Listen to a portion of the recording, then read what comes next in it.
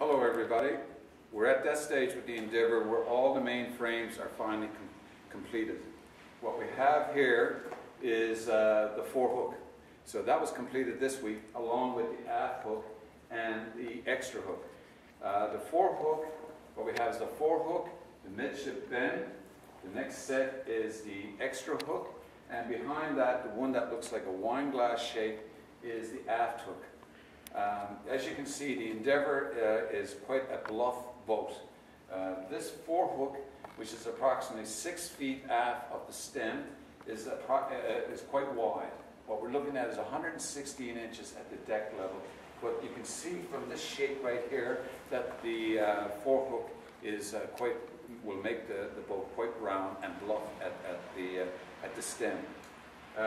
with the midship timbers, midship bend, what you have there is only slightly bit wider. That's approximately 10 feet in width.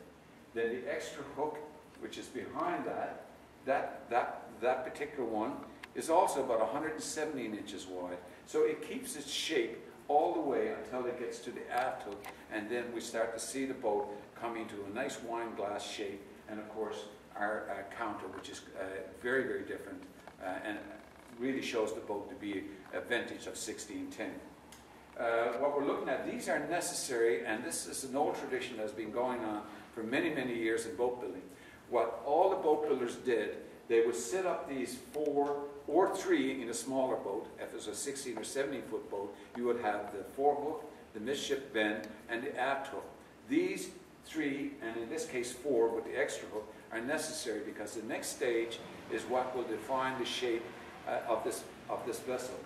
The next stage, and this is what we'll see in the next week, is where we start putting the battens, which are long uh, uh, longitudinal members, a couple inches wide, and they will be nailed to from the stem onto the forehook, midship bend, and so on until it passes back to the counter. And they will uh, uh, be like plank. It's, basically, it's, it, it gives the shape.